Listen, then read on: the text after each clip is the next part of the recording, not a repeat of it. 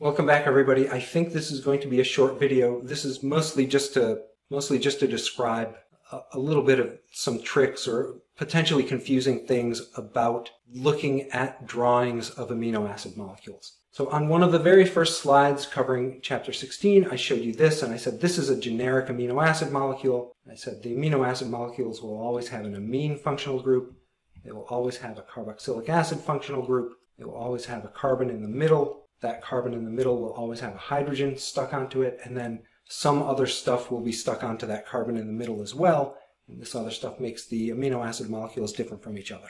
The problem with this drawing is that sometimes students can think, oh, okay, every time I see an amino acid, the carboxylic acid part will be pointing to the east, it'll be pointing that way, or to the right, I guess.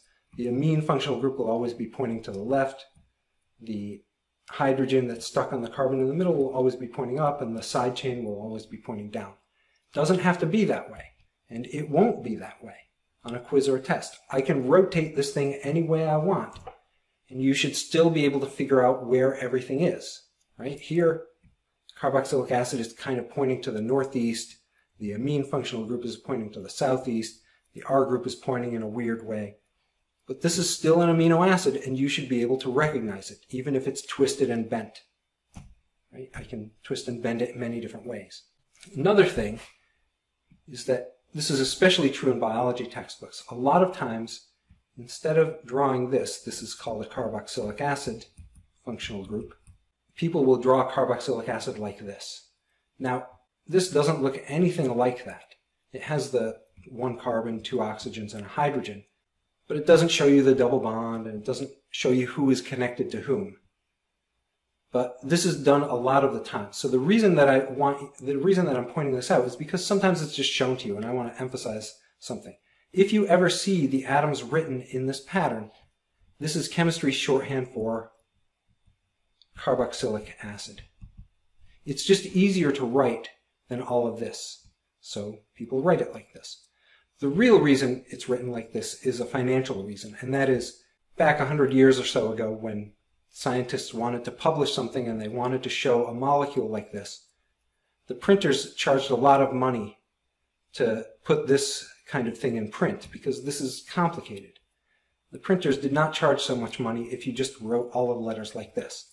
So the people who were doing this kind of stuff, one of the things they said is, look, we want to save money. As long as we write it this way, as long as everybody's on board, this is always going to mean that the atoms are connected like this. And then we can save a little bit of money, and as long as everybody's clued in, you know that this means carboxylic acid. And it's kind of stuck.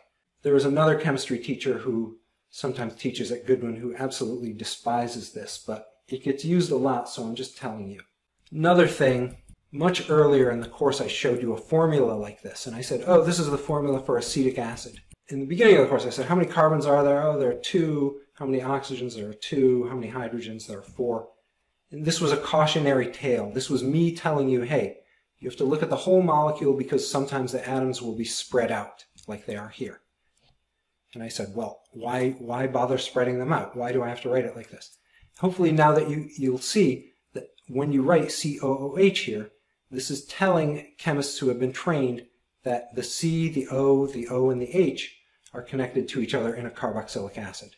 You could write CH4O2. That's the same formula as this thing here, but this doesn't tell you that there's a carboxylic acid in there somewhere. Anyway, that's a long-winded way of showing you different ways that the amino acid molecules can be presented. There's one more thing on the next slide.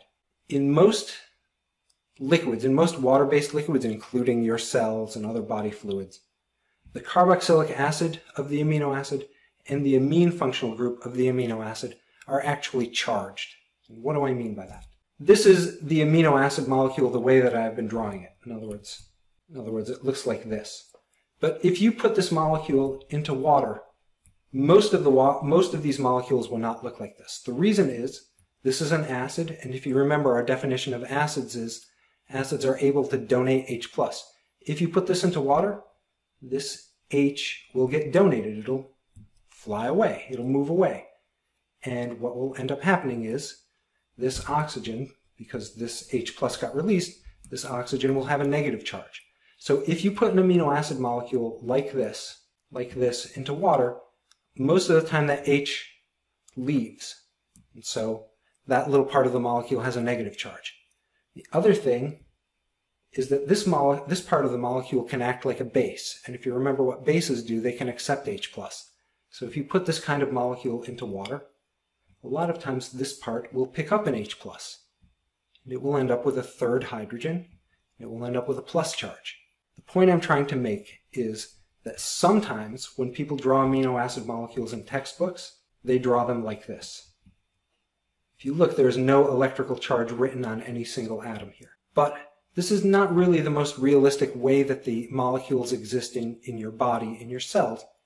Usually this H flies off, and usually this part of the molecule picks up another H+. Plus. So other times, when people are trying to be more accurate in the way they do, draw amino acid molecules, they will say, hey, actually, this nitrogen here has a third hydrogen stuck onto it. It has a positive electrical charge.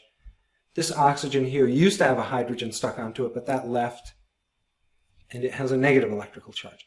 And most of the amino acid molecules in your body are like this. But sometimes they're drawn like this, which is how I drew it at the beginning.